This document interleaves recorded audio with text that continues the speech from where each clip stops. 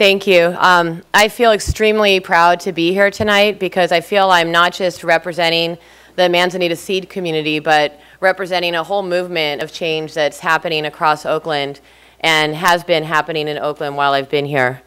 Um, and that's been 15 years now, so it's been great to see that positive change. I'm going to start by talking a little bit about our history um, and how our campus was redesigned, and that led to the creation of Manzanita Seed. And we had a, a special period. You can go ahead and, and, go on the next slide. I don't know who's got that. Oh, I do. That's what this is. I'm not used to a clicker. There we go. So um, in 2004 and 5, I had the opportunity to lead a team of people in planning the vision for our new school. And that team included actually many people who are, who are in the room right now, some of our community partners, um, Maria from Even Start, Chanda from EBAYC, Simone, who used to be an EBAYC employee, and we stole her. She's now part of our school staff. Um, we partnered with many organizations to make sure we could reach out and represent the true diversity of our school community. Manzanita is a pretty unique school community um, where we have Uh, African American, Latino, Asian, multi ethnic, and now even white students attending the school. And our neighborhood is just that diverse. And we wanted to make sure that when we redesigned the school, that we were representing all of those needs. And that's part of the reason we chose those community partners that were up there. When we opened, we also had the opportunity to expand our partnerships and start working as an arts anchor school, which really supported the vision that came out of that whole planning period. And it wasn't until uh, 2008 that we actually became a full K-5. Um, and you can notice by some of the partnerships out there that at that point we started expanding a little bit more to serve the whole child. We took on mentorships, um, counseling programs, and really started working to support the work around wellness and nutrition that's coming up in our high schools right now. the vision that, that came out of that collaborative year was of course, for all of our students to be academically proficient. And in just a moment, I'll, I'll talk about how low those proficiency rates really were before we began this redesign. Um, however, we also wanted to make sure that all the students in our neighborhood and in our school community had the chance to become bilingual and also to maintain their bilingualism or become trilingual if they spoke a third language at home that was something that was really important to all of our design team members, whether or not they were African American, Southeast Asian, or Latino families. They wanted their kids to learn English, but they also knew that a second language was important. In order to reach that vision, one of the things that we focused on was integrating our families into the school community. Uh, you've heard a little bit about the family literacy program that started with an outside partnership and now has moved into the district through the CBET program but we also wanted to support our families in becoming leaders, um, in pushing back to the school community if they felt that we weren't serving the vision of their child, and also in helping other parents develop leadership around knowing what an excellent education was and really demanding it. One of the ways that we do that is by hosting expositions of student work. Our students showcase their learning twice a year, and we have Still not 100% of our families coming out, but some classes get 100. And across the school, we're looking at a 70 to 80% turnout rate at these evening events. We also have optional cultural events for our families just to get together and get to know each other as people. That was actually one of the things our families asked for. We partner with Expeditionary Learning to support our vision for student proficiency, but also to really support the development of cultural and, culture and character in our students. We knew that simply following a curriculum that was developed by a publisher in some office somewhere else wasn't going to do that. So our teachers have been trained in how to backwards map, how to plan their own curriculum. They base a lot of their units or expeditions on social studies and science standards, and they go very into depth with those. They plan service learning, field work, and excursions that are linked to what they're learning. Uh, what you see right there is actually our third graders out at Coy Coy Coyote Hills uh, Regional Park. And that's become an annual trip of them during their study of the Ohlone Native people so they can see how the Ohlone lived in the past. At the same time, we have local and um, current Ohlone residents that come in and talk to our students so they also learn what the Native American experience is like in the present and how cultures have changed and shifted over the time. Another important part of our curricular program is using a balanced literacy approach that allows us to differentiate our reading and our writing for our students and also to make sure that literacy is not just taught for reading's sake, but our literacy is integrated across the curriculum and into other content areas. One of the fundamental principles that our school is founded on is really seeing the diversity of our neighborhood and our school community as a strength, and believing that if we include that diversity and um, in all settings, that everyone is stronger. When we went through our design process, we went through a, a process called asset mapping, and we looked around our community to see what its strengths were. We felt one of the strengths was the ethnic diversity of our community. We felt one of the strengths was the linguistic diversity of our community. We felt that our African American students particularly were not getting that linguistic diversity because of the way the bilingual programs had been set up previously. And that was one of the reasons that we went to this 50-50 model of bilingual immersion. All of our students have two teachers. They have one teacher who speaks only in English to them and one who speaks only in Spanish. What an outcome of that was that we didn't realize was that it meant that teacher collaboration has to happen.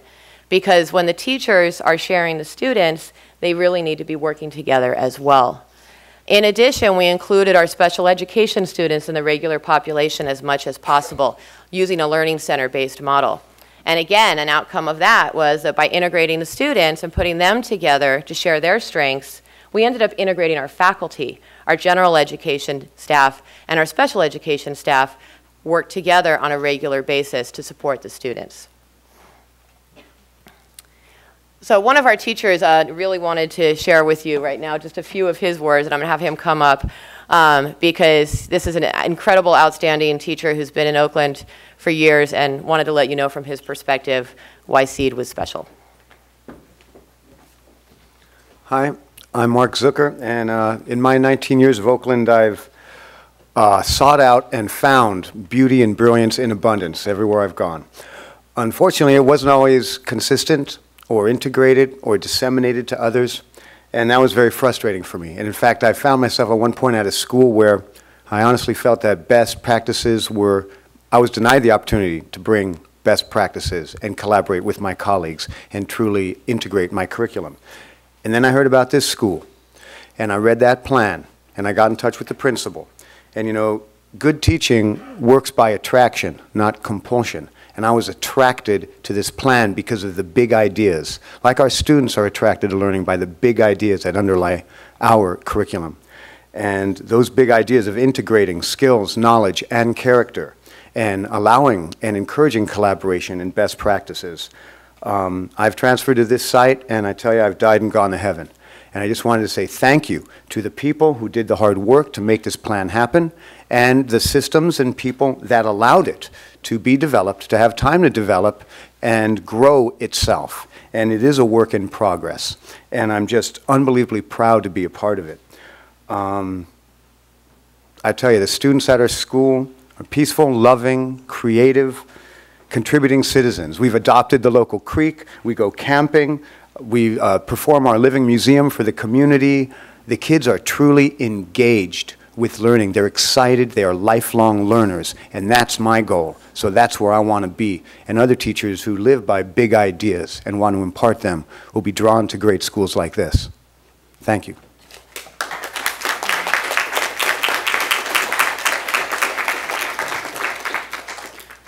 So I actually wanted to jump right to this math slide because despite the camping, or maybe I should say because of the camping and the field trips and the integration and everything Mark talked about, last year 100% of the students in his fifth grade class were proficient in mathematics. So I think that really, that's pretty phenomenal. Um, and, and that includes students who, are, who actually were fully included from our special education program in that fifth grade class. So it's really tremendous.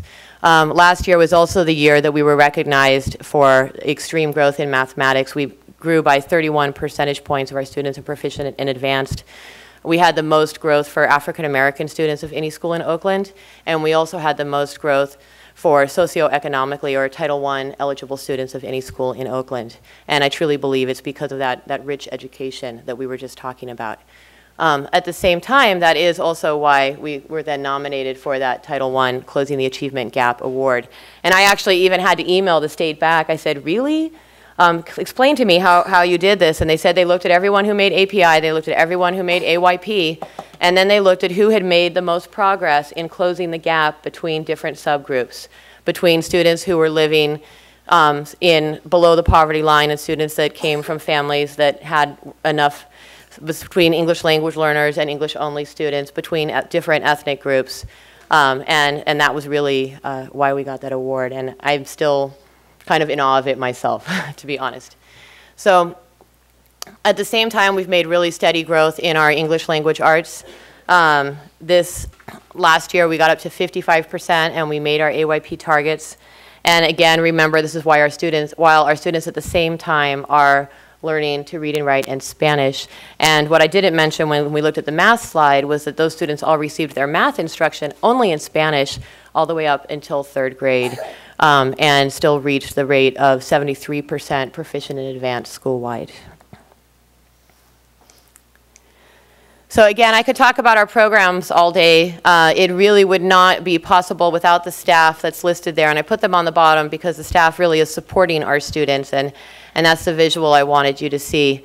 Um, one of the unique things about our school is that our after-school program coordinator is actually part of our school staff. I believe she's only one of only two people in the school district that is on the school staff and not outsourced to an outside agency. We do work closely with agencies like Learning for Life, like EBAYC, like Opera Piccola to get a full program, but it's been a blessing to have our program coordinator on staff with us um, so that we can have that continuity of the program and the real integration of academics and enrichment throughout the school day.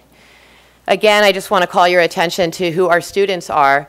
Uh, we're a small school. We're only about 240 students. Again, we have a high population of special ed students, English language learners, Title I students.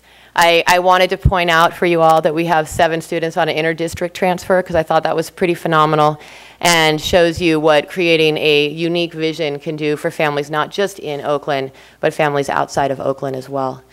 Um, at the same time, we're really proud of serving our neighborhood school, our neighborhood population, and you can see that by the demographic chart up there that represents, right up there on the top, the ethnic diversity of our student population. Um, and I think what you don't see is that that light blue is uh, multi-ethnic. I don't know where that square is. Um, and then all of the multiple languages that are spoken by our students who are becoming bilingual and or trilingual. Uh, so in closing, I, I wanted to actually take this opportunity, like Mark, to, to be thankful for the conditions that have made this possible.